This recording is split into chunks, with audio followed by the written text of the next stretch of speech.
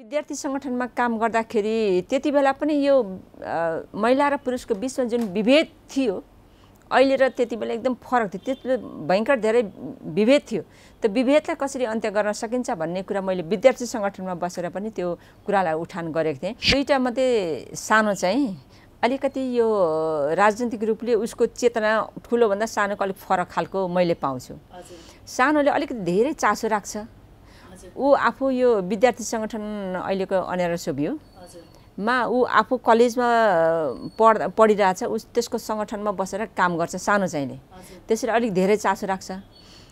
हामी नेपालीहरू राष्ट्रियताको सवालमा हामी केही चिज छेउमा नराखिकन हामी सबै कुरा बिर्सेर त्यो राष्ट्रियताको सवालमा हामी एक हुँदा रहेछौँ। भन्ने अनुभूति हुँदाखेरि मलाई यति गर्व लाग्यो।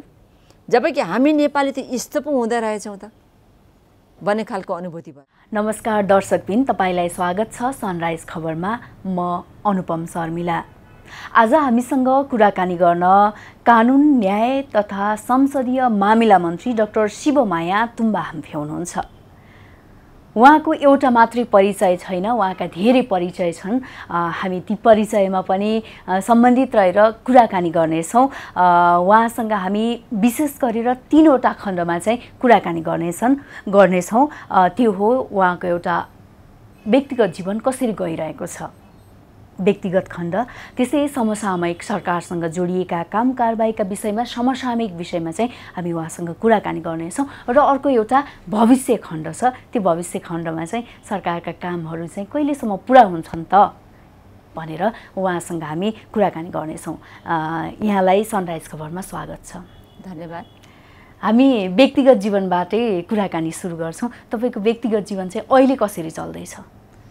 अहिले पहिले र अहिलेमा अलिकति चेन्ज भएको छ। हजुर। र पहिले अहिले किन चेन्ज भयो भन्दाखेरि अहिले हामी विश्वमा जुन कोरोना भाइरसको सङ्क्रमण तीव्र गतिले बढेको छ त्यसको प्रभाव हामी नेपालीमा पनि परेको छ। र त्यसमा पनि काठमाडौँमा पनि पहिलेभन्दा अहिले धेरै प्रभाव परेको कारणले गर्दाखेरि अब हामी सचेत भएर आफूले आफूलाई सुरक्षित राख्नुपर्छ भन्ने मान्यताका आधारमा पहिले र अहिलेमा अलिकति आफ्नो जीवनशैलीलाई पनि परिवर्तन गरेर अरूलाई पनि यही कुरा बताउँदै आफूले पनि त्यो कुरा मान्दै अगाडि बढ्ने अथवा आफ्नो दैनिकलाई चलाउने काम गर्दैछु।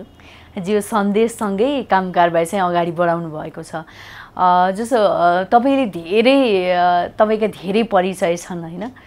एउटा अनेरासुबीको पूर्व अनेरासुबीको विद्यार्थी सङ्गठनमा काम गरेदेखि लिएर उपसभामुख सम्हालेदेखि लिएर अहिले मन्त्रीसम्म आइपुग्नु भएको छ। बिचमा अलिकति थोरै फर्क्यौँ हामी त्यतातिर। त्यो विद्यार्थी आन्दोलनमा काम गर्दाको अनुभव चाहिँ कस्तो थियो? जुन अनिराजव्यूको केन्द्रीय उपाध्यक्ष भएर चाहिँ तपाईँले काम गर्नुभयो त्यतिखेर चाहिँ कस्तो थियो? छोटो रूपमा भन्दा? राजनीतिक रूपले प्रभावित भएर अथवा म राजनीतिमा प्रवेश गरेकै भनेको म विद्यार्थी राजनीतिबाट हो। र विद्यार्थी राजनीतिमा प्रवेश गर्नुभन्दा पहिले सब समाजमा छोरा र छोरीको बिचमा फरक व्यवहार गरेको देखेर यो फरक व्यवहारलाई चाहिँ कसरी अन्त्य गर्न सकिन्छ भन्ने कौतलताले मलाई राजनीतिमा प्रवेश गराए। जसको कारणले पार्टीमा भन्दा पनि पहिले म विद्यार्थी सङ्गठनमा प्रवेश गरेर विद्यार्थी सङ्गठनमा काम गर्दै गरेर विद्यार्थी सङ्गठनमा काम गर्दाखेरि हामीसँग त्यति बेला अध्ययन दल बन्ने हुन्थ्यो सबभन्दा प्रारम्भिक चरणको अध्ययन दल। त्यसमा सामान्य कुराहरू सिक्ने कामहरू गर्थ्यौँ। त्यस पछाडि सङ्गठनको तल्लो संरचनामा बस्दै म अनेरा सोभिएको केन्द्रीय उपाध्यक्षसम्म बस बसेर मैले काम गरेँ। र विद्यार्थी सङ्गठनमा काम गर्दाखेरि त्यति बेला पनि यो महिला र पुरुषको बिचमा जुन विभेद थियो अहिले र त्यति बेला एकदम फरक थियो। त्यति बेला भयङ्कर धेरै विभेद थियो।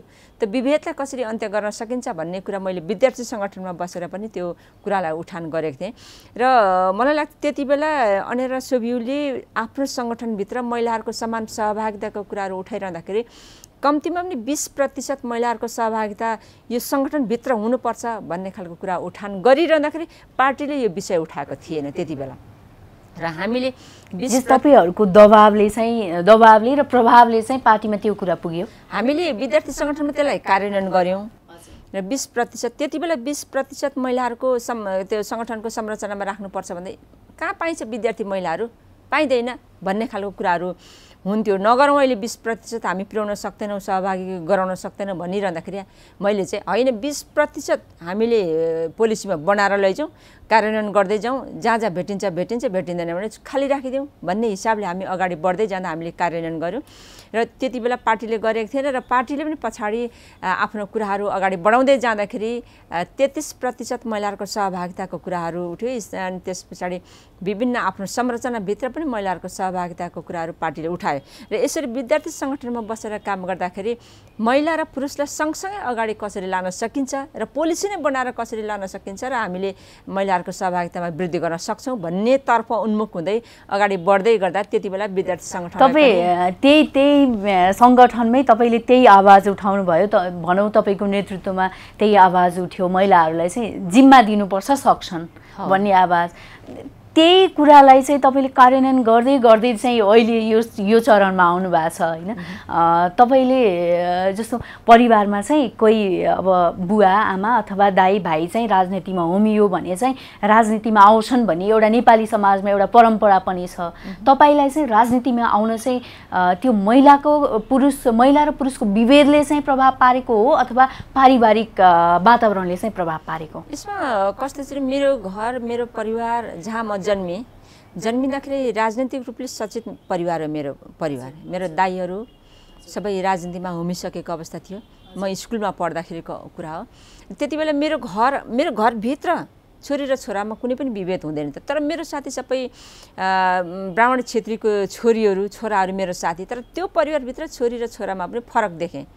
फरक देखिरहँदा किन यस्तो भयो भन्ने खालको कुरा सबै विश्लेषण गर्ने क्षमता ममा थिएन त्यति बेला। तर पनि यो फरकपनलाई चाहिँ मैले हटाउनको लागि मैले के गर्न सक्छु भन्ने कुरालाई तानेर मलाई त्यो कौतलताले त्यो विभेदको जुन अवस्थाले अब यसो गर्नुपर्ने रहेछ भन्ने खालको कुरा दिमागमा चाहिँ आयो। तर यही चिज राजनीति गर्दैछु भन्ने कुरो अनुभूति भएन। तर यतिकै अगाडि बढ्दै जाँदाखेरि चाहिँ अब यो कुरा जे मेरो दिमागमा आयो त्यो पनि राजनीतिक रूपले परिवर्तन ल्याउने एउटा सानो सङ्केत रहेछ। भन्ने कुरा पछि मात्रै मलाई थाहा भएको थियो। अनि परिवारमा चाहिँ अहिले को को हुनुहुन्छ तपाईँसँग? मेरो परिवारमा अहिले मसँग दुईवटा छोराहरू छन् अनि म छु हामी तिनजना छौँ। हजुर। जस्तो तपाईँको श्रीमानको चाहिँ निधन भयो होइन। श्रीमानको निधन भएपछि चाहिँ एउटा महिला त्यसमाथि सरकारको जिम्मा बोकियो मान्छे परिवार सरकार अनि सबै कुरालाई चाहिँ सम्हालेर जाँदा कति गाह्रो हुँदो रहेछ। यसमा कस्तो हुँदो रहेछ मेरो अनुभूति? मैले जति बेला कामहरू गर्ने सन्दर्भमा मैले मेरो परिवार मात्रै सम्हालिनँ मैले आफूले पाएको जिम्मेवारी मात्रै नै सबै कुरालाई मैले सँगसँगै अगाडि लिएर गएँ। एकताका मेरो यस्तो जिम्मेवारी थियो म कलेजमा नि पढाउँथेँ। त्यति बेला सँगसँगै अब बिहान चाहिँ क्लासमा पढाउन जाने दिउँसो फर्केर आउने। त्यस पछाडि म विभिन्न महिला अधिकारसँग जोडिएका संस्थाहरूसँग नै मैले काम गर्थेँ। म वकालत पेसामा पनि थिएँ। राजनीति पनि सँगै गर्थेँ। मेरो परिवार पनि सँगै चलाउँथेँ यी सबैलाई मैले सँगसँगै अगाडि बढाएको थिएँ। यो कसरी बढाउन सकिँदो रहेछ भने मेरो आफ्नो अनुभव। समयलाई व्यवस्थापन गर्न सकिने यी सबै कुरा सँगै लान सकिँदो रहेछ। त्यस्तै अहिले पनि म त्यही गर्दैछु। मेरो परिवार पनि चलाउँदैछु। अब मैले पाएको जिम्मेवारी पनि म सँगसँगै चलाउँदैछु। अब समाजमा विभिन्न कामहरू हुन्छन् त्यो पनि मैले सँगै चलाउँदैछु अनि यी समयलाई व्यवस्थापन गर्न सकियो भने जे पनि काम गर्न सकिँदो रहेछ भन्ने हो। तर त्यो समयलाई व्यवस्थापन गर्न सक्यो भने त्यस्तो धेरै दुःख अनुभूति चाहिँ हुँदैन रहेछ। मलाई त्यस्तो खासै मलाई दुःख भयो मलाई अप्ठ्यारो भयो गाह्रो भयो त्यो अनुभूति नै हुँदैन मलाई। त्यो सोच्यो भने चाहिँ हुने हो भन्ने तरिकाले चाहिँ तपाईँ जानुभयो तर समय व्यवस्थापन गर्दा सक्नुभयो। पिएचडी चाहिँ कुन विषयमा गर्नुभयो? मेरो राजनैतिक महिला आन्दोलन भन्ने यो राजनैतिक शास्त्रमा नेपालमा राजनैतिक महिला आन्दोलन भन्ने टाइटिल हो। त्यसमा गरेको मैले। किन त्यो चाहिँ रोज्नुभयो? विषय चाहिँ धेरै थिए त विषय मैले अघि सुरुमा के भनेको थिएँ भने यो महिला र पुरुषको बिचमा छोरा र छोरीको बिचमा जुन फरक देखियो मेरो परिवारमा मेरो यो आदिवासी जनजातिमा छोरा र छोरीको बिचमा यस्तो विभेद यति धेरै हुँदैन। तर त्यो मेरो परिवारदेखि मेरो समाजदेखि मेरो जुन खालको संस्कार संस्कृतिदेखि बाहिर निस्किने बित्तिकै एकदम धेरै फरक देखियो। अब फरक देखियो यसलाई कसरी अन्त गर्न सकिन्छ भन्ने कौतलता त ममा छँदै थियो।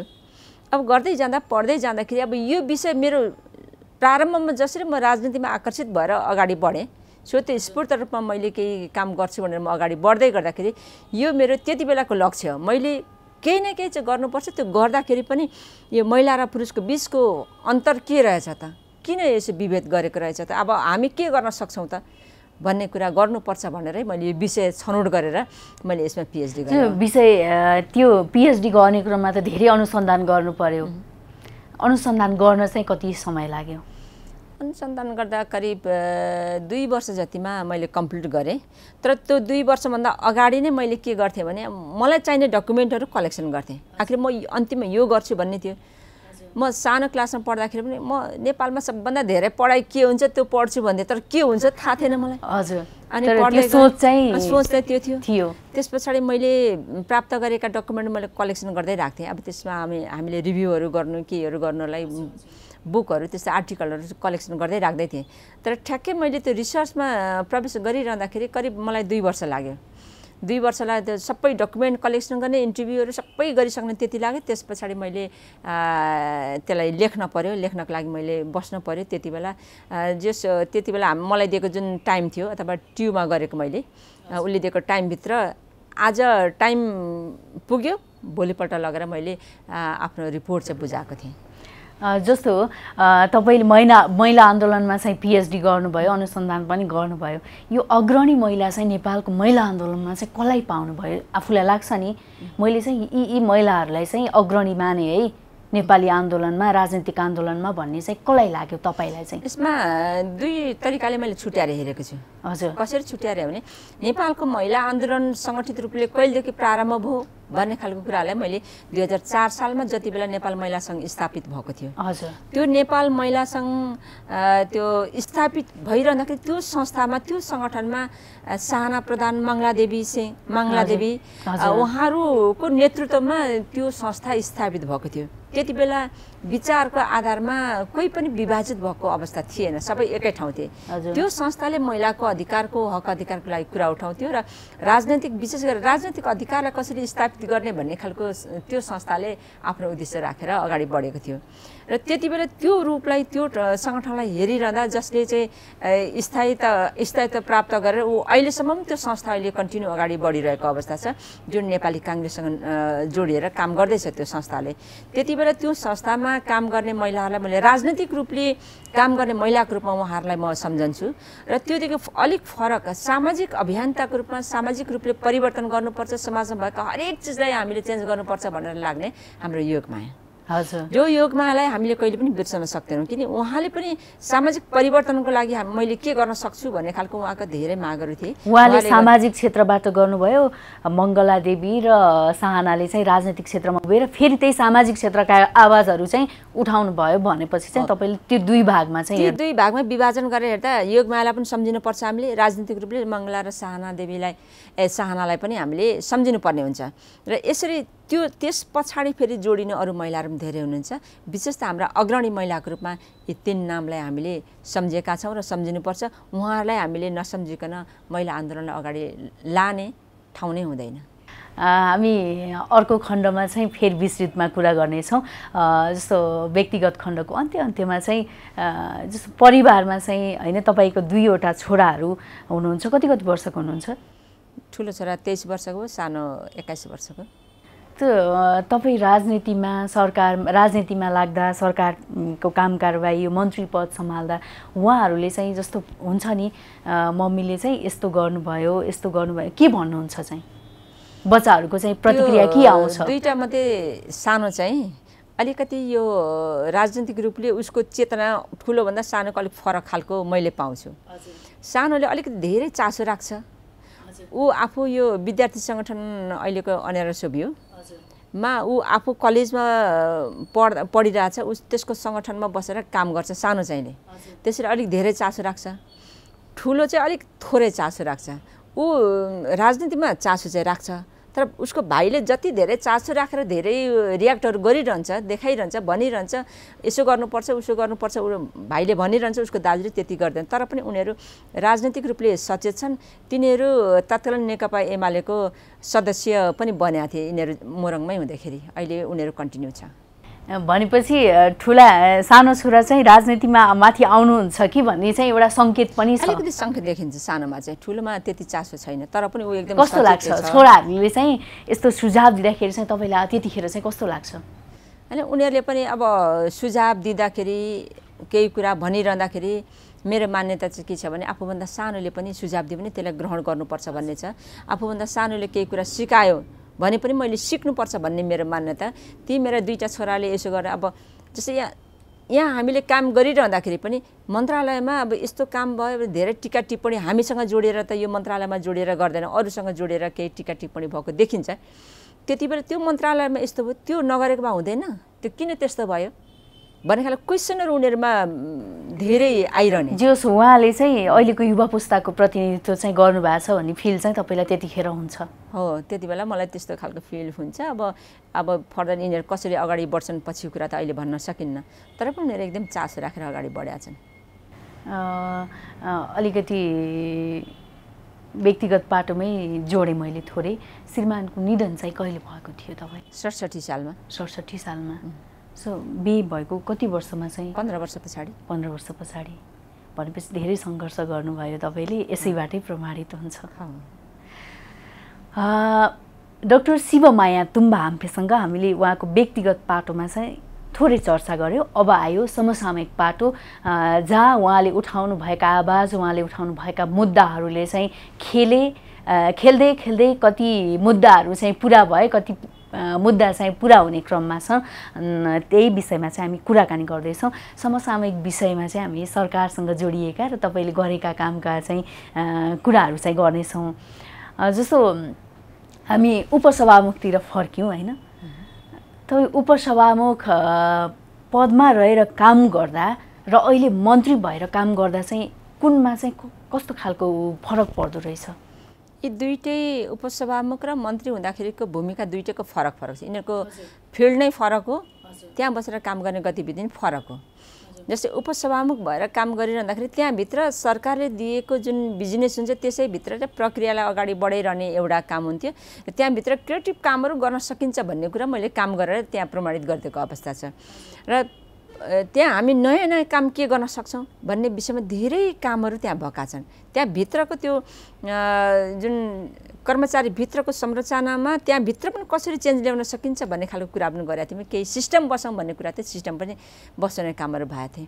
र त्यहाँभित्रको त्यो संसदभित्र पनि हामीले केही नयाँ काम गर्न सक्छौँ भन्ने खालको कुराहरू पनि भएको थियो त्यसमा अहिले विशेष गरेर त्यो सम्पूर्ण माननीय सदस्यहरूको एउटा प्रोफाइल बनाउने त्यो भिडियो प्रोफाइल बनाउने कामहरू त्यसको सबै मोडल अनि क्वेसनरहरू यी सारा कुरो कसरी जाने भन्ने खालको त्यो मोडल तयार गरेर त्यसलाई हामीले कम्प्लिट गरेका थियौँ। र त्यस पछाडि अब तपाईँ तपाईँ उपसभामुख हुँदाखेरिको बेलाका चाहिँ ती कामहरू अरू अरू चाहिँ के के काम भयो त्यो एउटा भयो त्यस पछाडि हामीले सातै प्रदेशमा हामी त सङ्घीयताको अभ्यासमा गइरहेको अवस्थामा सात प्रदेशमा उपसभामुखहरू महिला मात्रै हुनुहुन्छ। सङ्घमा पनि उपाध्यक्ष र उपसभामुख महिला त्यति महिलै महिला उप जति सबै महिला थिए। यी सबै महिलाहरूको त्यो उपहरूको फिलिङ्स चाहिँ कति भने हामी उपहरू हामीले त केही गर्न सक्दैन हामीलाई भूमिकै दिएको छैन भन्ने खालको फिलिङ्स उहाँहरूको थियो। त्यो फिलिङ भइसके पछाडि मैले के भने त्यस्तो होइन।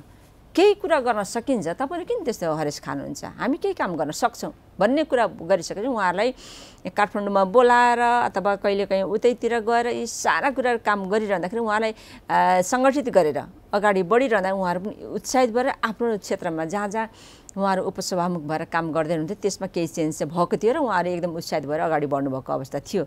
यसको साथसाथै अब हामीले सात प्रदेशका उपसभामुखलाई त्यसरी चलाइरहँदाखेरि अब अलिक पछाडि हामीले फिजिकल्ली हामीसँगै बस्न आउने अवस्था नरहिसके पछाडि अब हामीले भिडियो कन्फरेन्स पनि गरेका थियौँ। त्यो त संसदीय अभ्यासमा पहिलोपटक हामीले भिडियो कन्फरेन्सिङ गरेर महिलाहरूको बिचमा उपसभामुखहरू बिचमा हामीले छलफल गरेका थियौँ। त्यसमा केही विषयमा हामीले छलफल गऱ्यौँ यस्तो उहाँहरूभित्र रहेको एउटा सुसुप्त प्रतिभा भनौँ न जिम्मा भएर पनि हामी चाहिँ अलि दोस्रो तहमा छौँ भन्ने हिसाबको चाहिँ अलिकति सुसुप्त मानसिकतालाई चाहिँ माथि उठाउन चाहिँ जे होस् दोस्रो तहमा छौँ भन्नुभन्दा पनि त्यस्तो खालको वातावरण थियो वातावरण सोच मात्रै होइन वातावरण त्यस्तो थियो। तर पछाडि हामीले त्यो कुराहरू गरिसके पछाडि त्यसमा चेन्ज आयो। उहाँहरूले केही फरक पनि पाउनुभयो। यति बेला अलिक सहज भएको छ। र त्यसको साथसाथै अब सङ्घीयतामा गइसकेपछि सात प्रदेश र हामी सङ्घीय यहाँका राष्ट्रिय सभाको अध्यक्ष उपाध्यक्ष सङ्घीय यो प्रतिनिधि सभाको सभामुख उपसभामुख र सात प्रदेशका सभामुख उपसभामुखको बिचमा एउटा मोडल तयार गरेको थिएँ मैले। हामी सबै एक ठाउँ बसेर एउटा कार्यक्रम गरौँ। हामीले हाम्रो अनुभव सेयर गरौँ र हामीले जानेको कुरा प्रदेशलाई हस्तान्तरण गरौँ। उहाँहरूले जे खालको च्यालेन्ज उहाँले बेहोरी रहनुभएको छ त्यो कुरा हामीले सेयर गरेर केही कुरा चाहिँ हामीले त्यसको निकास दिन सक्छौँ त्यो काम छलफल गरौँ भनेर एउटा मोडल तयार गरेर त्यो कार्यक्रम सम्पन्न भएको थियो। एकदम राम्रो भएको थियो। र प्रत्येक वर्ष गर्ने भन्ने भयो थियो त्यो पहिलो वर्ष मैले मोडल तयार गरेर सक्यो। फेरि तयारी गर्दै गरेको केही अब अहिले होइन अलिक पछाडि गरौँ भन्नुभयो हाम्रो अध्यक्ष उप के अरे सभामुखले। तपाईँहरू गर्नुहोस् भनेर मैले छोडिदिएँ। छोडेपछि त्यो अहिलेसम्म भएन। अहिलेसम्म त्यो कार्यक्रम भएको छैन। र भनेपछि त्यो पहल गर्दा जे पनि गर्न सकिन्छ जस्तो जे हामीले केही चेन्ज गर्न सकिन्छ एकता हुनु पर्यो र आफूसँग चाहिँ इच्छा शक्ति हुनु पर्यो। इच्छा शक्ति त हुन पर्यो र त्यसमा इच्छा शक्ति हुँदाखेरि त वातावरण गर्ने वातावरण बन्न पर्यो। अन्तिममा यो दोस्रो पटक गरौँ भन्दा त्यो वातावरण बनेन। तपाईँले त्यो उपसभामुख भएर काम गर्ने बेलामा चाहिँ कति दबाबहरू प्रभावहरू त्यस्तो केही भए? दबाब त म कसैको दबाब त म सहनेवाला छैन। हजुर। कसैले मलाई दबाब दिएर केही पनि हुँदै हुँदैन। हजुर। अहिले पनि कसैले दबाबको महसुस गर्छन् तर म दबाबको महसुसै गर्दैन। कहिले त्यो मैले मेरो ड्युटी पुरा गर्ने हो नि। अर्काले दबाब दिने त्यो गर गर्ने नगर भन्दा नगर्ने। त्यो म गर्दै गर्दिनँ तर प्राय चाहिँ धेरै जसोको भनाइ चाहिँ महिला नेतृत्वकै कुरा गरौँ होइन? दबाब आयो प्रभाव आयो तर हामी चाहिँ भनेनौँ भन्ने खालका कुराहरू पनि बाहिर आउँछन्। तपाईँले चाहिँ यो कुरा जुन पहिले अघिकै हामी व्यक्तिगत खण्डमै कुरा गरेका थियौँ तर पहिल्यैदेखि चाहिँ त्यसको भण्डाफोर गर्ने मान्छे आफ्नो निर्णयले चाहिँ काम गर्ने हो आफ्नो क्षमताले चाहिँ काम गर्ने हो भन्ने सोच चाहिँ तपाईँको उहाँको सोच चाहिँ पक्कै पनि हाम्रा जो महिला दिदीबहिनीहरू हुनुहुन्छ जसले चाहिँ हामीले अलिकति पाएनौँ ठाउँ पाएनौँ भन्ने मानसिकता हुन्छ नि उहाँहरूले पनि पक्कै बुझ्नुहुनेछ। र त्यतिखेर उपसभामुख र सभामुखको बहस पनि चल्यो होइन? त्यही बिचमा तपाईँले काम गरेकै बिचमा चल्यो। हामी त्यतातिर चाहिँ फर्किन चाहन्नौँ त्यो पाटो सकिसक्यो। यदि त्यो बेलामा चाहिँ तपाईँलाई रोज्न पाइन्थ्यो अथवा रोज्न दिइन्थ्यो भने मन्त्री र सभामुख मध्ये चाहिँ कुन रोज्नुहुन्थ्यो? त्यति बेला त्यति बेलाको परिस्थिति त्यति बेलाको परिस्थितिमा म रोजेर म जान्छु भन्ने मेरो अवस्था होइन। त्यति बेला त्यस्तो थियो भने? मैले रोजेर जान्छु भन्ने मेरो मानसिकता थिएन। हजुर। मैले त्यति बेला मैले सभामुख किन बन्न नपाउने? म म बन्न सक्छु। र जति पनि म उम्मेदवार बन्छु भन्ने त्यति बेलाका उम्मेदवारको नाम चर्चामा आएका नामहरूमध्ये सबभन्दा क्वालिफाइड मै हो भन्ने थियो मलाई। हजुर। मैले भने थिएँ मै सबभन्दा क्वालिफाइड थियो हजुर। मै हो त्यो कारणले मैले बन्न पाउनुपर्छ भन्ने खालको कुरा गरेँ। र अर्को कुरो हामीले जे जति अवसर पाउँछौँ त्यसले फुल फ्लेजमा हामीले चाहिँ काम गर्न सक्नुपर्छ केही गरेर देखाउनुपर्छ भन्ने नै हो। तर त्यति बेला के रह्यो त मैले त्यो सँगसँगै मैले के भनेको थिएँ म क्वालिफाइड मान्छे हो मैले पाउनुपर्छ भन्ने मेरो दाबी थियो। तर यता अर्को कुरा संविधानले के लेखेको थियो भने प्रतिनिधि सभाको सभामुख र उपसभामुख फरक फरक दल फरक फरक लिङ्गको भनेको थियो। हजुर। र म जति बेला म उपसभामुख उम्मेदवार बनिरहँदाखेरि तत्कालीन नेकपा एमाले मलाई उम्मेदवार बनाएर पठाएको थियो। नेकपा एमालेको तर्फबाट मैले यहाँ निर्वाचित भएर आएको माननीय सदस्य भएको नाताले त्यो पार्टीसँग म पार्टी साधारण सदस्यबाट पनि मैले राजीनामा दिएर म बाहिर निस्केको थिएँ। तर पनि म त्योसँग आबद्ध नै हो। किन आबद्ध नै थिएँ त्यति बेला किन उसले मलाई पठायो नि त। हजुर। र संविधानले के भन्यो भने सभामुख र उपसभामुख एउटा पार्टीको हुन्न भनेको थियो। एउटै हुन्न भनिसके पछाडि मैले के सम्झेँ भने संविधानले भनेको कुरा मैले कार्यान्वयन गर्नुपर्छ। तसर्थ मैले पार्टीले आफ्नो उम्मेदवार तयार गरेर अब सभामुख को बन्ने भन्दा सत्ता पक्षले लिन्छ र अहिलेको नेकपा चाहिँ सत्ता पक्षमा थियो। सत्ता पक्षले आफ्नो उम्मेदवार तयार गर्यो भने सत्ता पक्षकै पार्टीको पृष्ठभूमिबाट अगाडि बढेको कारणले गर्दा मैले त त्यो पद छोड्नुपर्छ। त्यसैले तपाईँले उम्मेदवार लिएर आउनुहोस्। भन्दा त्यहाँ पनि व्यापक छलफल चर्चा भएको थियो। बाधक बन्यो यहाँ बन्यो त्यहाँ बन्यो धेरै कुरा भनेको थिएँ। हजुर। तर त्यति बेला मैले तपाईँ कानुनमै हुनुहुन्थ्यो। कानुनी रूपमै अगाडि संविधानको पालना गर्दै चाहिँ तपाईँले ती अडानहरू चाहिँ राख्नु भएको थियो त्यति बेला त्यो अडान मैले राखेको थिएँ। त्यति बेला चर्चा परिचर्चा गर्ने सन्दर्भमा आफ्नो तर्क अगाडि बढाउने सन्दर्भमा पार्टीका केही नेताले के बोल्नु? यो बाधक बन्यो उपसभामुख भने त्यस पछाडि मेरो च्यालेन्ज के थियो भने बाधक मलाई कसरी भन्नुहुन्छ? संविधान यो भने चाहिँ म यो गर्छु मैले मार्ग प्रशस्त गर्छु भनेको छु। तपाईँले मेरो भावनालाई ठेस पुग्ने शब्द प्रयोग गर्नु त्यसरी यो यो फल्ला फल्ला नेतालाई कारवाही गर्नुपर्छ भन्ने खालको मैले दुई अध्यक्षलाई भनेको थिएँ। त्यस पछाडि हामी अगाडि बढ्यौँ। अगाडि बढ्दै जाँदाखेरि अब संविधानले त्यो भनेपछि तपाईँले उम्रदार दिनुहोस् मलाई। यहाँ भन्नुहोस्। मैले त त्यसै त म उपसभामुखबाट राजीनामा दिएर बाहिर निस्किन्न। खाली पनि छोड्नु खाली छोड्दिनँ। मैले खाली बनाएर अगाडि नेतृत्वविहीन बनाएर यो संस्थालाई नेतृत्वविहीन बनाएर म अगाडि बढ्दिनँ। किनभने संविधानले शून्यताको परिकल्पना गरेको छैन। त्यसैले मैले छोड्दिनँ। ल्याउनुहोस् उम्मेदवार भन्दा एक दिन त फेरि सचिवालय बैठक बसेर निर्णय गरेर राजीनामा दिनु पऱ्यो भने म किन दिन्छु राजीनामा? पार्टीले भन्दै म राजीनामा दिने एउटा संस्थाको उपसभामुख भए पनि प्रतिनिधि सभाको यति बेला त नेतृत्वमा छु। मैले त्यो गर्न मिल्दैन म गर्दिनँ। भनेपछि त्यो कुरा सकियो। पछाडि फेरि उम्मेदवारको नाम लिएर आइसके पछाडि मैले के भने ठिक छ। पार्टीले उम्मेदवार बनाए सत्तापक्षले उम्मेदवार फल्लालाई बनाउँछु भनेर तपाईँले लिएर आउनुभयो। अब मैले मार्ग प्रशस्त गर्नुपर्छ। संविधान ल्याइ बनेको छ संविधानलाई कार्यान्वयन गर्ने पहिलो ड्युटी मेरो हो। त्यसैले मैले अब राजीनामा दिन्छु प्रक्रिया पुर्याएर म छोडिदिन्छु भनेपछि प्रक्रिया पुर्याएर छोडेँ। त यी सबै कुराहरू चाहिँ संविधान लिएर ऐनले जे भन्यो त्यहाँ म दायाँ बायाँ होइन तर यहाँसम्म अगाडि बढिरहँदाखेरि पनि पार्टीका केही नेताहरूले के गरे मलाई यो बैठक बस्न त्यो चेयर गर्न मिल्दैन भनेर सम्म मलाई रोकेँ। कसले भने चेयर गर्न रोक रोक्छ मलाई कसले रोक्छ? अनि मैले भटाभटी बसेर अगाडि बढेर चेयर गरेर जम्मै कुरा गरिदिएँ। यी सबै हेरेका हेरे भयो त्यसरी। मान्छेले संविधानभित्र बसेर ऐनभित्र बसेर ऐन कानुनभित्र बसेर काम गर्दाखेरि मान्छे रङ हुँदैन। रङ नभइसके पछाडि त्यसले आफ्नो काम पुरा गर्न सक्छ। कसैले छेकेर छेकिन्न भन्ने कुरा एउटा एउटा कुरा चाहिँ प्रमाणित गरियो। र त्यसैले दल र यो संसद यी फरक फरक पाटो हुन् र दलले संसदलाई प्रभावित पार्न हुन्न कुनै पनि गतिविधिमा आफ्नो प्रोसेसमा आफ्नो प्रक्रियामा ऊ जान सक्छ जान दिनुपर्छ। र यसरी एकले अर्कोलाई प्रभाव पार्नु हुन्न भन्ने खालको कुरालाई पनि स्थापित यो संसदमा गर्न सकेँ यसमै म खुसी छु। जो तपाईँले दुईवटा कुरा एउटा चाहिँ महिला नेतृत्वलाई अलिकति दबाउने यो परिपाटी पहिलादेखि पनि अलिकति नदिने होइन? अगाडि बढ्न नदिने जुन एउटा नेपाली राजनीतिमा यो नेकपामा मात्रै पनि होइन? कङ्ग्रेस भनौँ अब अरू पार्टी भनौँ सबैमा छ। त्यो दुईवटा कुरालाई चाहिँ च्यालेन्ज गरेर अगाडि बढ्नु भएको थियो जो च्यालेन्जको हामी पनि जस तपाईँको त्यो अडानलाई चाहिँ म पनि एकजना महिला हो होइन? म पनि त्यसको सम्मान गर्छु। अब म यो यो पाटो चाहिँ सकियो। कानुन मन्त्रालयमा आएपछि चाहिँ के के काम गर्नुभयो? यो कानुन मन्त्रालयमा आएर मैले जिम्मेवारी सम्हालेको साढे पाँच महिना बित्दैछ। अब छ महिना कम्प्लिट हुन लाग्दैछ। यो छ महिनासम्ममा पहिले हुँदै आएका कामहरूलाई पनि केही सम्पन्न गर्न बाँकी थियो त्यसलाई सम्पन्न गर्ने कामहरू गरियो। र अहिले यो छ महिनामा रनिङ चलिरहेछ अहिले छ महिनामा हिँडिरहेछु मैले काम गरिरहँदाखेरि। यहाँ आउँदाखेरि विशेष गरी एउटा ठ्याक्कै देखिने भनेको कुरो के हो त भन्दाखेरि हामीले जुन मौलिक हकसँग जोडिएका सोह्रवटा ऐनहरू बनाएका थियौँ त्यो सोह्रवटा ऐनहरूलाई बनाइरहँदा त्यसलाई कार्यान्वयनको निम्ति नियमावली बनाउनु पर्छ।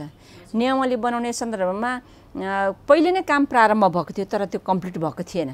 त्यसलाई कम्प्लिट गर्ने कामहरू गरेर अब ती अब कार्यान्वयनको तहमा छन् र एउटा दुईवटा चाहिँ नियमले बन्न बाँकी छ। एउटा यो सम्प्र खाद्य सम्प्रभुतासँग जोडिएको छ जुन सम्बन्धित मन्त्रालयले। म लकडाउन खुलेपछि प्रदेश र स्थानीय तहसँग छलफल गरेर मात्रै मैले यसलाई टुङ्ग्याउँछु भनेर भन्नुभएको छ उहाँले। र अर्को आवासको हकको सन्दर्भमा उहाँले तयार गरेर अर्थ मन्त्रालयमा पठाएको छौँ भन्नुभएको छ। अरू चौधवटाको अरू अरू कम्प्लिट कार्यान्वयनको चरणमा पुगि कार्यान्वयनको चरणमा पुग्यो त हामीले नियमले बनाएर कार्यान्वयनको चरणमा पुगेका छ। र यसरी एउटा यो काम सम्पन्न भयो। र अर्को भनेको अब हामीले संविधानले महिलाहरूको सहभागिताको बारेमा तेत्तिस प्रतिशत राज्यका हरेक निकायमा तेत्तिस प्रतिशत महिलाहरू सहभागिता गराउने भन्ने कुरा लेखिसके पछाडि भनिसके पछाडि। अब कार्यान्वयन गर्ने तह भनेको के हो त भन्दा अब ऐन कानुनमै नलेखेसम्म हामीले कार्यान्वयन नगर्दा रहेछौँ। हामीले कामै अभ्यासमा न नल्याउँदा रहेछौँ। र हामी त्यो ऐनमा लेखेपछि नियमावलीमा लेखेपछि चाहिँ कार्यान्वयन गर्ने अभ्यस्त हामी नेपाली। त्यो अभ्यस्त नेपाली ती कुरा दिनपर्छ लेखेरै दिनुपर्छ भन्ने मान्यताको आधारमा हामीले जति पनि संविधान त र ऐन अनुसार हामीले नियमावली बनाउँदा कार्यविधि बनाउँदा अथवा अरू केही बनाउँदाखेरि कुनै एउटा संरचना बन्ने भयो भने संरचना अर्थ कुनै एउटा कमिटी समिति बन्ने भयो भने त्यहाँ कुनै पनि हालतमा कम्तीमा पनि एकजना महिला नछुट्ने गरी त्योलाई चाहिँ हामीले अभ्यासमा ल्याएका छौँ। त्योभन्दा यो म आउनुभन्दा अगाडि अब काहीँ काहीँ त समितिमा महिलाको नाम निशाना हुँदैन थियो। हजुर। होइन? तर अहिले चाहिँ कम्पलसरी कुनै हालतमा तेत्तिस प्रतिशत? भनिएको छ। तर तेत्तिस भने पनि हामीले अब त्यो पदेन सदस्य आउने ठाउँमा हामीले महिला खोजेर भेट्दैन। पदेन सदस्यमा आउनको लागि कम्पलसरी महिलाहरू कि सचिव भएर आएको हुनु पर्यो उपसचिव भएर आएको हुनु पर्यो सहसचिव भएर आएको हुनु पर्यो त्यस्तो अवस्था हामीसँग नभएको कारणले गर्दा हामीले मनोनयन गर्दाखेरि कम्तीमा एकजना महिला अनिवार्य हुने गरी जानुपर्छ भने यो एङ्गलबाट अगाडि बढ्दा यो यसलाई पनि हामीले उपलब्धिको रूपमा लिन सक्छौँ। तर मैले यति भनिरहँदा तेत्तिस प्रतिशत भनेको छ सातजनाको कमिटी बन्दा एउटा महिला मात्रै खोजेर कसरी हुन्छ र भन्ने प्रश्न आउन सक्छ। त्यति बेला मैले के भन्ने गरेको छु भने अब हामीले खोजेको त तेत्तिस प्रतिशत हो। तर पदेन सदस्य हुँदाखेरि त्यहाँ हामीले तेत्तिस पुर्याउन सक्ने अवस्था रहँदैन। त्यस्तो अवस्थामा चाहिँ कम्तीमा पनि एकजना महिला जसरी भए पनि जताबाट तानेर भए पनि महिलाको सङ्ख्या चाहिँ त्यहाँ राख्नुपर्छ भन्ने यो चाहिँ हामीले अहिले अभ्यास सुरु गरेका छौँ। अब हामीले नियमले सबै ठाउँ एकजना महिला कम्पलसरी गरेपछि अबको हरेक संरचनामा एकजना महिला त अनिवार्य हुन्छ। यो चाहिँ यो सोच मात्रै छ अथवा अगाडि बढाउनु भएको छ? कहिले केही होइन हामीले अभ्यासमा ल्याइसक्यौँ भने जस्तै नियमली बनायौँ गठन आदेश तयार गर्छौँ त्यसमा। पनि यहाँबाट लिएर जाँदा जो हामीसँग जोडिएर यहाँ सहमतिको लागि यहाँ हाम्रो मन्त्रालयमा आउँछ त्यति बेला यति गरेर हामी पठाउँछौँ। यदि यहाँ छैन भने पनि मन्त्री परिषदको एउटा विधेयक समिति हुन्छ। विधेयक समितिको चेयर मैले गर्छु। त्यहाँ छलफल गर्दाखेरि तपाईँले कम्तीमा पनि एउटा महिला पर्ने गरी यसलाई संशोधन गरेर लिएर आउनुहोला अथवा फाइनल्ली हामी जाँदाखेरि यसो गर्नु त्यो ट्रेड चाहिँ बनाइसक्नु भयो। बनाइयो। यो चाहिँ हामीले बनाइयो। कम्तीमा पनि एउटा महिलाले खुट्टा टेक्ने ठाउँ भएको छ। संविधानले तेत्तिस प्रतिशत भनिएको छ। तर विभिन्न कारणले गर्दा एउटा महिला चाहिँ अनिवार्य भनिएको छ। के- यो ऐन नियमावली सबै विधेयक सबै गरेर यो बिचमा चाहिँ कतिवटा कानुनहरू चाहिँ निर्माण भए जुन कार्यान्वयनका चरणमा बनाउनु पर्ने कानुनहरू थिए होइन विभिन्न कोही प्रदेशसँग जोडिएका पनि थिए कानुन त धेरै बन्यो धेरै कानुन कानुन बन्यो भने नयाँ नयाँ कानुनहरू केही बनिया छन् ती पुराना कानुनलाई परिमार्जन। संशोधन गर्दै अगाडि बढेको अवस्था छ र हामीले यसपटक अथवा यो छैटौँ अधिवेशनमा हामीले जम्मा दसवटा ऐन बनाइसकेको अवस्था छ र बाँकी सबै सरकारले चाहिँ यो संसद सचिवालयमा दर्ता गरेको अवस्था छ। त्यहाँ चाहिँ कोही समितिमा छ छलफल गर्दै गरेको अवस्था। अहिले पनि राष्ट्रिय सभाको विधान समितिले छलफल गर्दै थियो तर अहिले त्यो समितिहरूको कार्यावधि पुरा भयो। अब अलिकति चेन्ज हुँदैछ अहिले बैठक बसिया छैन।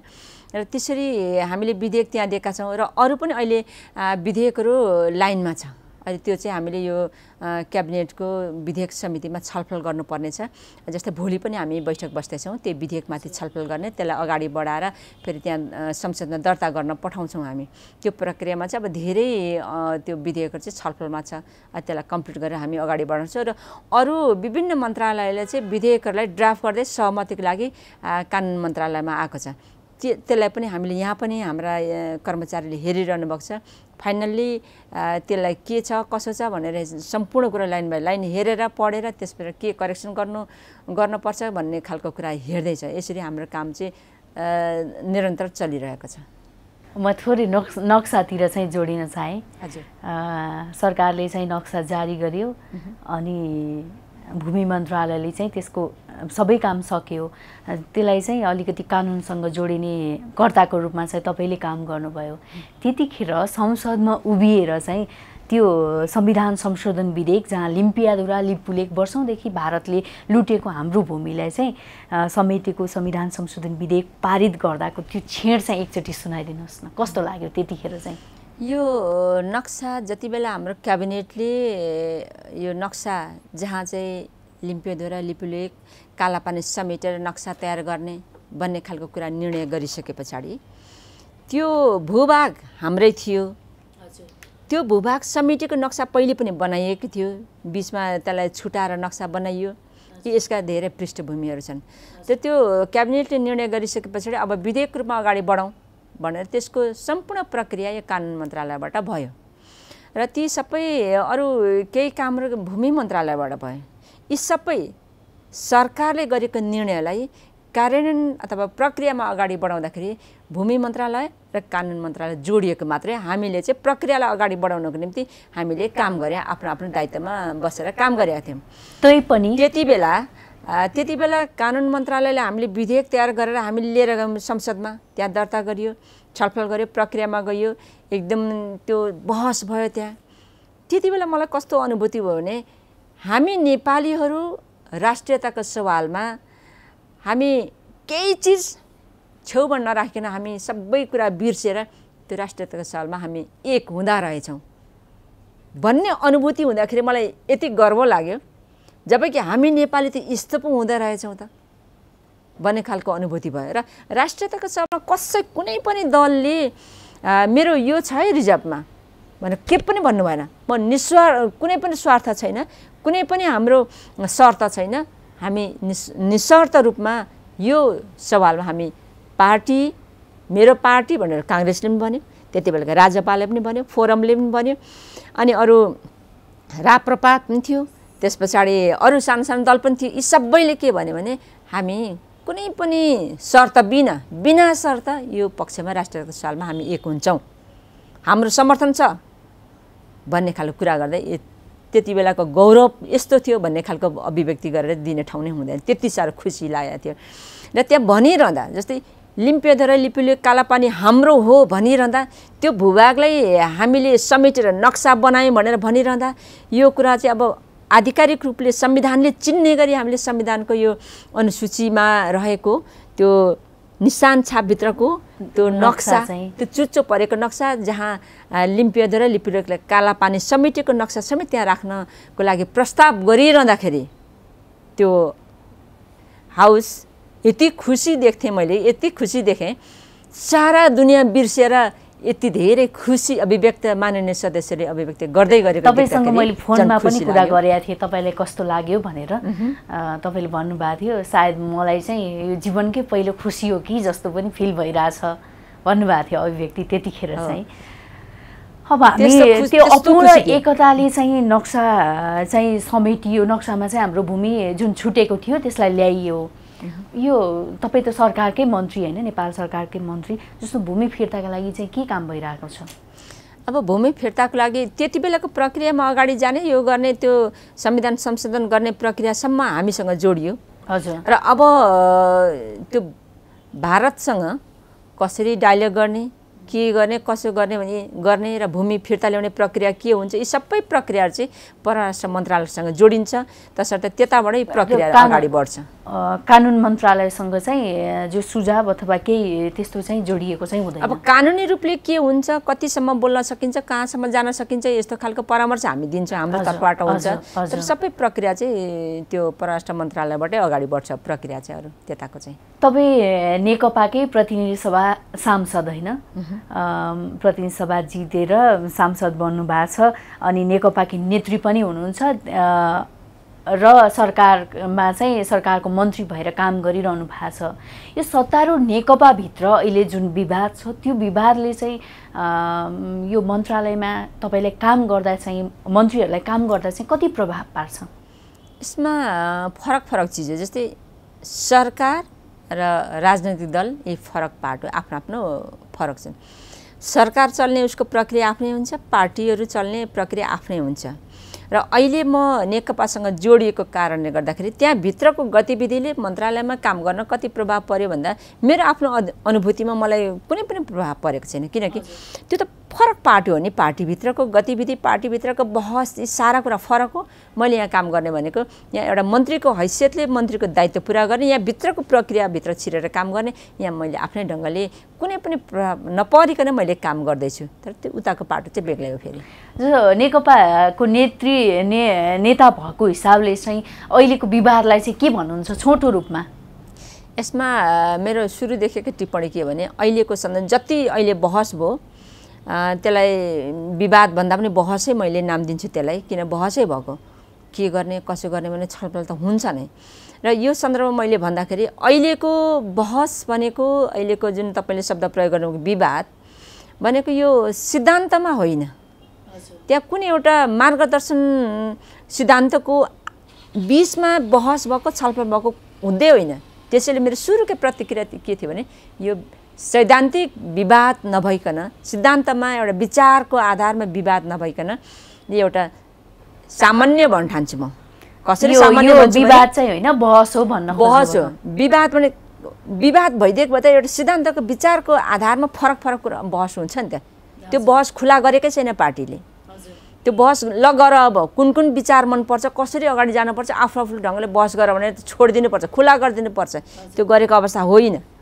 र उहाँहरूले अब हाम्रा विशेष गरेर स्थायी कमिटी र त्यो सचिवालयभित्र बसेका हाम्रा नेतागणहरूले के गर्नुभयो भन्दाखेरि एक व्यक्तिलाई जो अहिले सम् सम्माननीय प्रधानमन्त्री हुनुहुन्छ उहाँ पार्टीको पनि अध्यक्ष हुनुहुन्छ।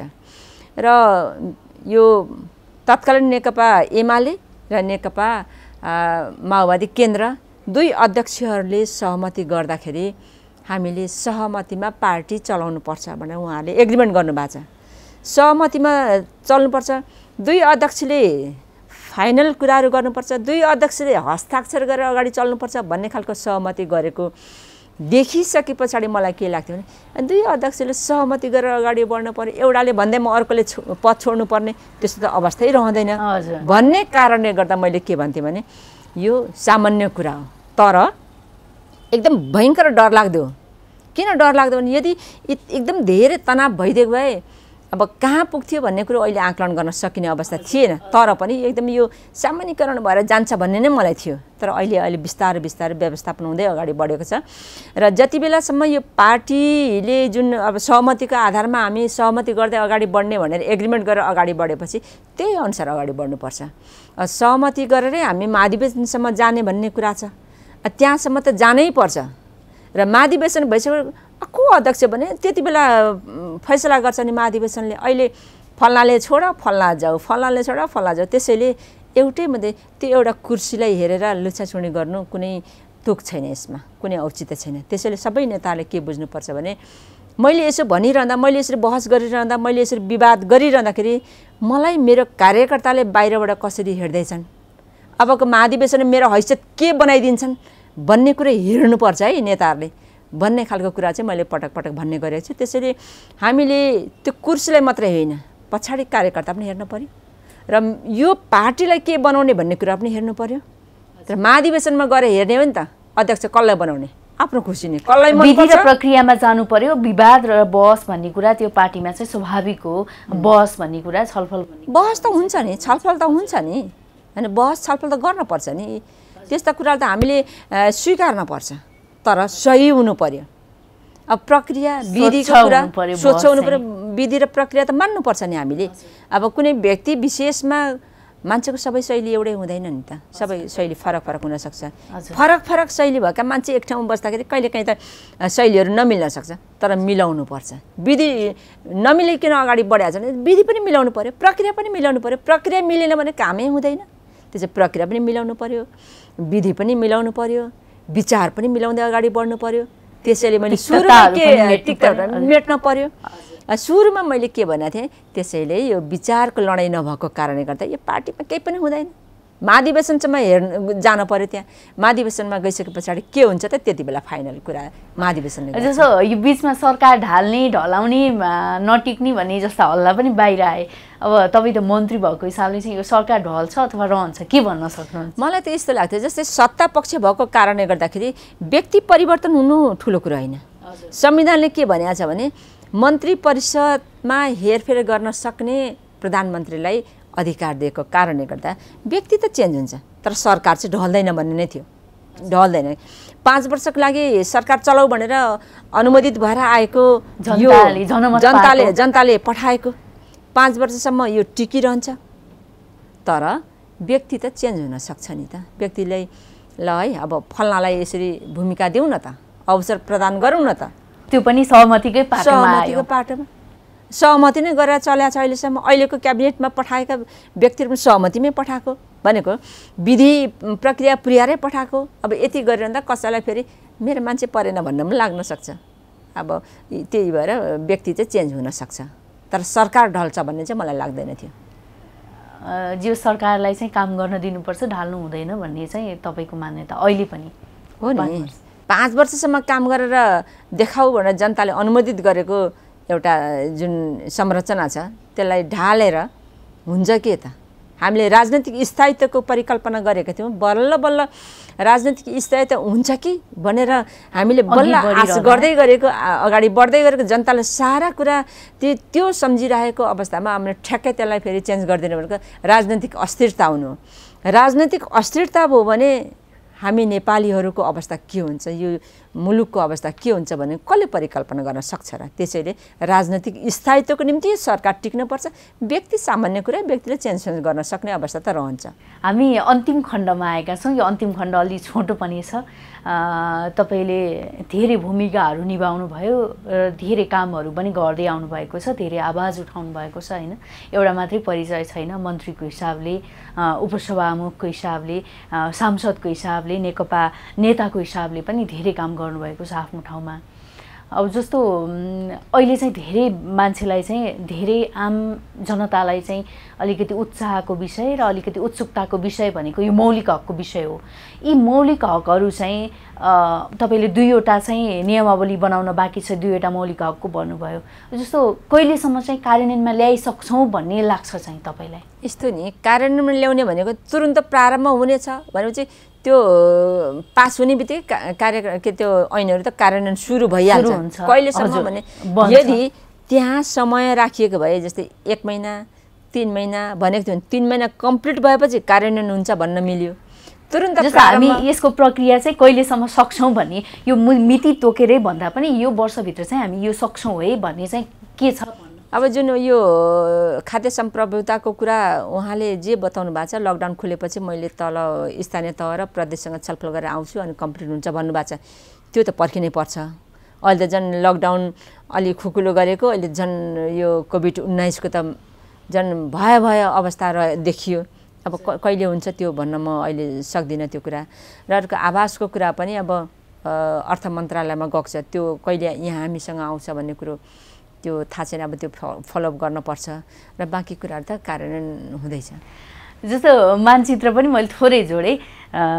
यही सरकारको पालामा भन्नाले अब यो पाँच वर्षसम्म चल्ने यही सरकारले चाहिँ यो भूमि फिर्ता ल्याउला कि नल्याउला? तपाईँ मन्त्री भएको हिसाबले चाहिँ के लाग्छ? मलाई के लाग्छ त्यो भूमि हामीसँगै छ। हजुर। त्यो खालि हाम्रो नक्साबाट बाहिर थियो। हजुर। नक्सामा पनि हामीले भित्र पारिहाल्यौँ। अब त्यसलाई प्रक्रिया पुरा गर्न बाँकी छ। त्यो प्रक्रिया पुरा गर्नको लागि परराष्ट्र मन्त्रालयले अगाडि बढाउँछ अब हाम्रो छिमेकी मुलुकसँग जे एकदम वार्ता गर्नु पऱ्यो टेबलमा बस्नु पऱ्यो त्यहाँ छलफल गर्नु पऱ्यो त्यो प्रक्रिया उताबाट चलाउँछ। त्यसैले कति समय लाग्छ त्यो छलफल गर्न भन्ने कुरा एकातिर। एकातिर छ। तर यही सरकारले। यही सरकार मलाई लाग्छ मेरो अनुभूति र यो सरकारले गर्नुपर्ने काममध्ये एउटा काम भनेको यो भूमि हामीले फिर्ता ल्याउनु पर्छ र हामीले के उद्घोष गरेका छौँ हामी नेपालीले भने त्यो भूमि हाम्रो हो। यो भूमि हामीले भोग चलन गर्न पाउनुपर्छ भनेरै अहिले सरकारले त्यहाँ हाम्रा सुरक्षाकर्मीहरूलाई पनि पठाएको अवस्था छ। त्यहाँका हिजोस्तिको एउटा के अरे त्यहाँको लिपुलेख जाने बाटो पनि बाटो बन्दैछ। त्यहाँ चाहिँ कामहरू गरिरहेछ। त्यहाँ इन्डियाले ल नेपालले यहाँ प्रवेश निषेध भनेको थियो। त्यस पछाडि होइन यो भूभागमा बिना रोकटोक नेपाली जनता चाहिँ आउजाउ गर्न पाउने भन्ने कुरो यताका हाम्रा कर्मचारीले गरेका छ। भनेपछि भारतले त्यसको हामीसँगै छ त्यो भूमि होइन? खालि प्रक्रिया पुर्याउनको लागि भारतसँग हामीले छलफल गर्नुपर्छ भन्ने कुरा मात्रै भनेपछि यो सरकारले चाहिँ सरकारकै पालामा आउँछ भन्ने तपाईँलाई चाहिँ विश्वास छ। हामी ल्याउँछौँ। कार्यान्वयनमा ल्याउँछौँ भोग चलनमा। कार्यान्वयनमा भोग चलनमा आइहाल्यो नि। जस्तै त्यहाँ हाम्रो प्रक्रिया मात्रै पुरा गर्न नेपालीलाई बिना रोकटोक आउजाउ गर्न देऊ। किन रोक्छौ? हाम्रो भूमि हो। हाम्रो भूमि हो भनेर पत्रचार गर्नु भनेको त एक खालले एउटा हिसाबले त्यो कार्यान्वयन जस्तो जस्तो पनि हो। उनीहरूले नेपाली चाहिँ नहिन यहाँ भन्यो इन्डियाले। त्यो नेपालीले होइन। बिना रोकटोक चाहिँ आउजाउ गर्छ नेपालीले। किन गर्दैन भने हाम्रो संविधानमा के लेखिएको छ भने कुनै पनि नेपाली बिना रोकटोक एक ठाउँबाट अर्को ठाउँ जान पाउने। एक ठाउँबाट अर्को ठाउँमा गएर आय आर्जन गर्न पाउने भन्ने संविधानले लेखेको कुरा हामीले कार्यान्वयन त गरिसक्यौँ नि। तर प्रक्रिया पुरा गर्न त्यताबाट त्यो हाम्रो हो जस प्रक्रिया पुरा भएपछि चाहिँ त्यो वार्तामा बस्दा साथ कुरा मिल्न साथ वार्तामा बस्न साथ चाहिँ सबै कुरा पुरा हुन्छ भने तपाईँलाई विश्वास छ। मलाई त विश्वास छ। अन्त्यमा चाहिँ के भन्न चाहनुहुन्छ? हाम्रा दर्शकलाई सम्पूर्ण आम जनता कार्यकर्तालाई चाहिँ के भन्न चाहनु? अहिले चाहिँ म के भन्न चाहन्छु भने अहिले हामीले सङ्घीयतालाई कार्यान्वयन गर्ने क्रममा हामी सङ्घले बनाउनु पर्ने ऐन कानुन निर्माण गर्नुपर्ने हामीले बनाइरहेका छौँ र भर्खरै मात्रै हामीले सङ्घ प्रदेश र स्थानीय तहका जुन अन्तर सम्बन्धलाई कसरी व्यवस्थित गर्ने भन्ने विषय थियो त्यो विषयलाई भर्खरै मात्रै हामीले त्यसलाई त्यो विधेयक थियो त्यसलाई कानुनको रूपमा हामीले प्राप्त गरिसकेका छौँ। त्यसले तिनै तहलाई काम गर्न अलिक सजिलो हुन्छ र हाम्रा सङ्घ र प्रदेश स्थानीय तहले समन्वय गर्दै अगाडि बढेर काम गरिरहेको अवस्था छ र सङ्घ प्रदेशलाई र स्थानीय तहलाई अब त्यही ऐन अन्तर्गत पनि अगाडि बढेर काम गरौँ। र अहिलेको सन्दर्भमा सम्पूर्ण दर्शकहरूलाई तपाईँहरूको माध्यमद्वारा के भन्न चाहन्छु भने अहिलेको यो कोभिड उन्नाइस यस्तो अप्ठ्यारो पारेको छ हामीलाई। यहाँहरू सबै दाजुभाइ तथा दिदीबहिनीहरूले मेरो जीवन सरकारले मात्रै होइन मेरै कारणले मैले रक्षा गर्न सक्छु म आफू बाँच्न सक्छु भन्ने खालको अनुभूति यहाँले गर्दै आफूलाई सुरक्षित गर्नुहोस् र आफ्नो परिवारको सदस्यलाई सुरक्षित गर्ने उपायहरू अपनाउनुहोस्। यति गर्नुभयो भने हामी सुरक्षित रहन्छौँ। जीवन रक्षा गर्न सक्छौँ। तपाईँले आफूलाई एकदम ध्यान गर्नुहोला भनेर म सम्पूर्ण दाजुभाइ तथा दिदीबहिनीहरूलाई म आग्रह गर्न चाहन्छु। सनराइज खबरमा व्यक्तिगत समसामयिक सरकारका काम कारबाहीका विषयमा पनि आफ्ना कुराहरू राख्नुभयो। यहाँलाई पनि धेरै धेरै धन्यवाद। धन्यवाद। डक्टर शिवमाया तुम्बा हाम्फेसँगको कुराकानी तपाईँलाई कस्तो लाग्यो? उहाँसँग हामीले समसामयिक विषय र सरकारका काम कारबाहीबारे चाहिँ कुराकानी गऱ्यौँ। उहाँसँगको कुराकानीमा चाहिँ तपाईँलाई जस्तो लाग्यो त्यस्तै खालको प्रतिक्रिया दिन चाहिँ नभुल्नुहोला भन्दै म पनि बिदा हुन चाहन्छु। हवस् त नमस्ते।